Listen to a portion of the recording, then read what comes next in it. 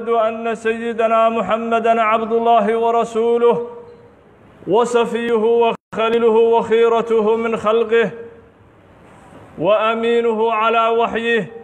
اللهم فصل وسلم وبارك على عبدك ورسولك محمد وعلى آله وصحابته الكرام ومن تبعهم بإحسان إلى يوم الدين. أيها المؤمنون بالله ورسوله اتقوا الله وأطيعوه واحذروا عن مخالفة أمره وعصيانه فإن أجسادكم على النار لا تقوى أيها المؤمنون بالله ورسوله ما زلنا في الحديث ما زلنا نقتطف ثمارا ذهبية يانعة من الحديث الذي يرويه الإمام أحمد في مسنده.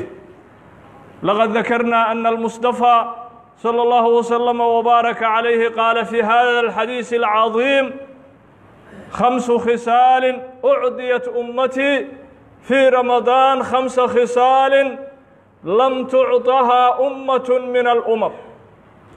ولقد ذكرنا الخلوف العظيم الذي ذكرنا من شأنه ما رواه الإمام الطبراني والإمام الترمذي في سننه والخصلة الثانية التي يكرم الله بها عباده الصائمين أن الله سبحانه وتعالى يزين لهم جنته كل يوم من أيام رمضان ترغيبا للصائمين ترغيبا للطائعين ترغيبا للمشتاقين إلى رضوان الله جل في علاه وما أدراك ما هذه الجنة يا عبد الله؟ ما أدراك ما هذه الجنة التي يعدها الله سبحانه وتعالى لعباده السائمين المشتاقين إلى رضوان الله جل في علاه؟ هي التي يقول رب العزة عنها وسارعوا إلى مغفرة من ربكم وجنة عرضها السماوات والأرض أعدت للمتقين الذين ينفقون في السراء والضراء والكاظمين الغيظ والعافين عن الناس والله يحب المحسنين. هي التي يقول عنها الله في شأنها في الحديث القدسي أعددت لعبادي الصالحين ما لا عين رأت. ولا أذن سمعت ولا خطر على قلب بشر. هي التي يقول عنها المصطفى صلى الله وسلم وبارك عليه. لو أن لو أن امرأة من أهل الجنة اطلعت إلى أهل الأرض لملأت لأضاءت ما بينهما ريحا. لأضاءت لأضاءت ما بينهما ولملأت ما بينهما ريحا.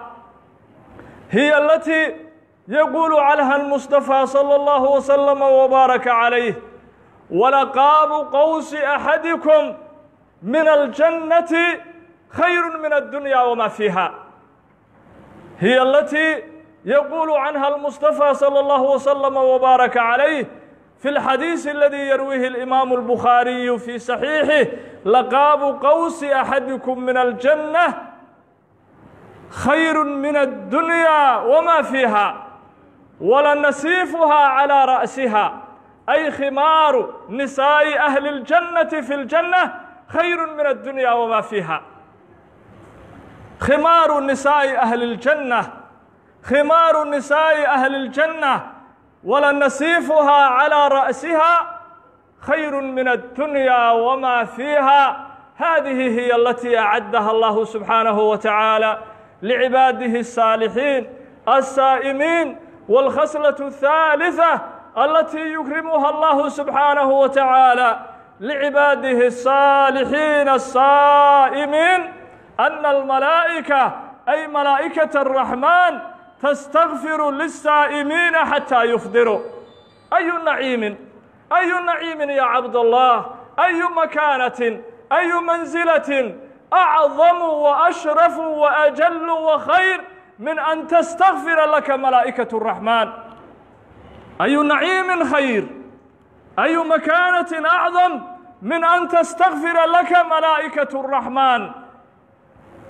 والخصلة الرابعة التي يكرمها الله سبحانه وتعالى لعباده الصالحين أن الله سبحانه وتعالى يغفر أن الله سبحانه وتعالى يغفر في آخر ليلة من رمضان كل لكل من تقبل الله صيامهم.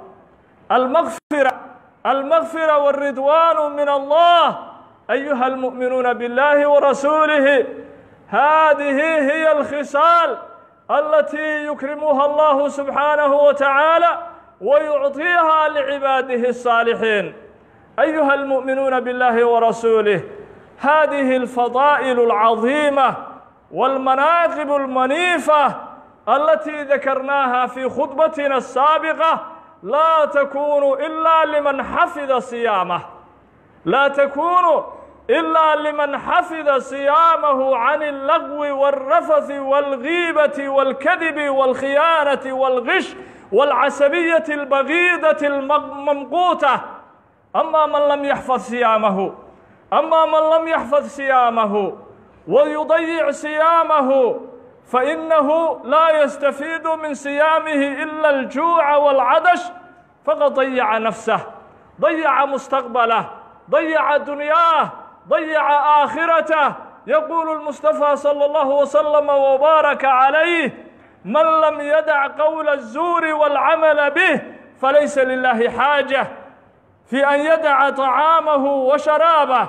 ويروي الإمام ابن حبان في صحيحه أن رسول الله صلى الله وسلم وبارك عليه سعد المنبر فارتقى الدرجة الأولى فقال آمين. ثم سعد المنبر فارتقى الدرجة الثانية فقال آمين. ثم سعد المنبر فارتقى الدرجة الثالثة فقال آمين. فقال صلى الله وسلم وبارك عليه عرض لي جبريل فقال من أدرك رمضان فلم يغفر له فأبعده الله. أي أبعده الله في النار أعاذني الله منها. أبعده الله في النار. ثبت هذا الحديث الصحيح في رواية ابن حبان في صحيحه. أيها المؤمنون بالله ورسوله لقد أدبر شهر رمضان لقد انقضى أعظمه وأجله ولم يبق منه إلا القليل. فلنجتهد في هذا القليل الباقي فمن كان محسنا فمن كان محسنا في الأيام الفائتة فليحمد الله سبحانه وتعالى على توفيقه وامتنانه.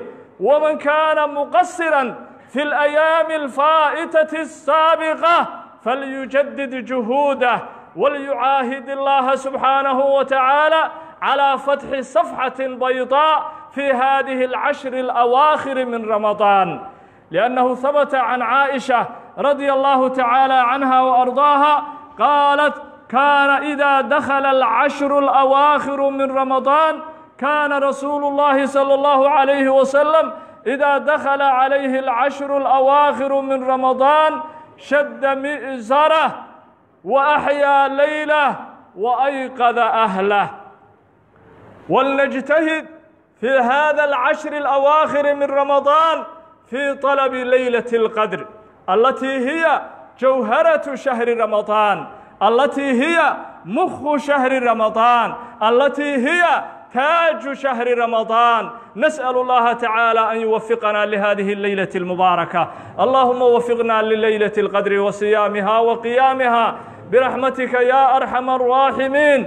أيها المؤمنون بالله ورسوله صلوا على النبي المصطفى والرسول المجتبى والحبيب المرتضى صاحب الحوض والشفاعة الكبرى نبينا محمد لقوله تعالى إن الله وملائكته يصلون على النبي. يا أيها الذين آمنوا صلوا عليه وسلموا تسليما. اللهم فصل وسلم وبارك على عبدك ورسولك محمد وعلى آله وصحابته الكرام ومن تبعهم بإحسان إلى يوم الدين.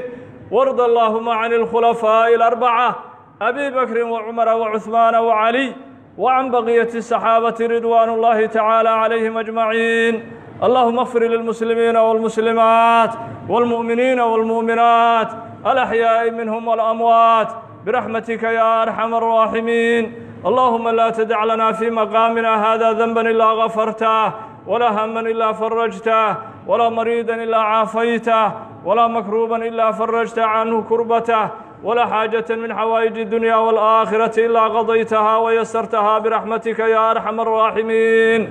اللهم يا مسبب الأسباب ويا مفتح الأبواب ويا سامع الأصوات ويا قاضي الحاجات أصلح أمورنا وأمور المسلمين أصلح أمورنا وأمور المسلمين واكشف كروبنا وكروب المسلمين واغض حوائجنا وحوائج المسلمين. اللهم إنا نسألك إيمانا لا يرتد ونعيما لا ينفد وغرة عين لا تنقطع ولذة النظر إلى وجهك الكريم ومرافقة نبيك محمد صلى الله وسلم وبارك عليه في الجنة. ومرافقة نبيك محمد صلى الله عليه وسلم في الجنة. اللهم لا تحرمنا فضل هذه الليالي المباركة.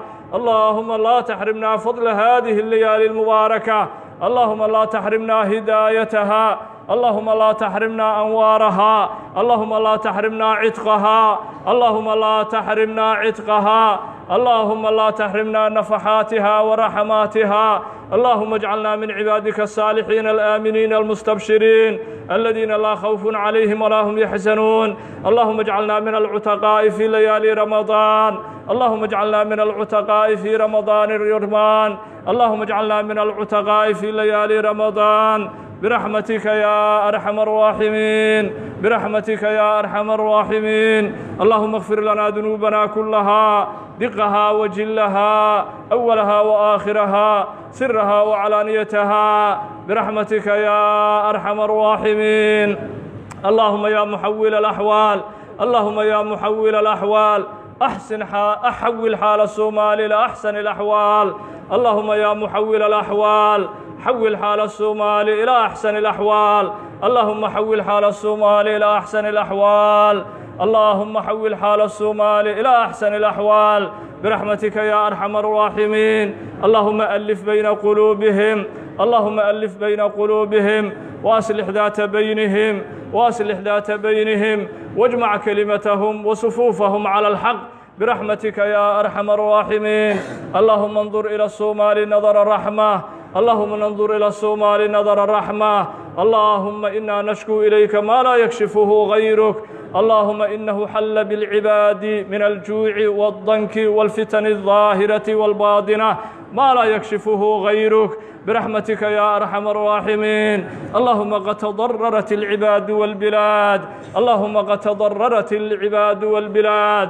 وضال علينا البلاء. وضال علينا البلاء. فاكشف عنا يا الله. اللهم فرج عنا فرجا عاجلا. اللهم فرج عنا فرجا عاجلا. لا آجلا برحمتك يا أرحم الراحمين.